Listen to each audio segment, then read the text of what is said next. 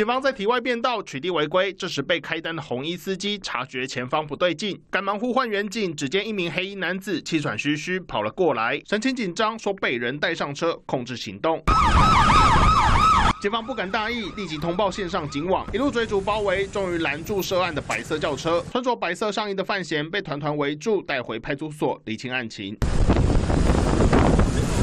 原来杨姓被害人透过网络借贷，积欠陈姓范闲二十万元。十四号下午两点半，两人在万华巧遇，陈姓范闲质问要求还钱，但对方不理不睬，因此伙同王姓共犯掳人上车。陈贤为逼迫杨楠尽速偿还债务，遂伙同王姓嫌犯将杨楠强行带上车，并将其皮夹内现金一万七千元取走。杨姓被害人在体外道路看见路边有警察在开单，跳车求援才获救。远警也循线逮捕王姓共犯，全案依妨害自由罪嫌。移送新北地检署侦办。记者钟成阳、陈冠宇新北报道。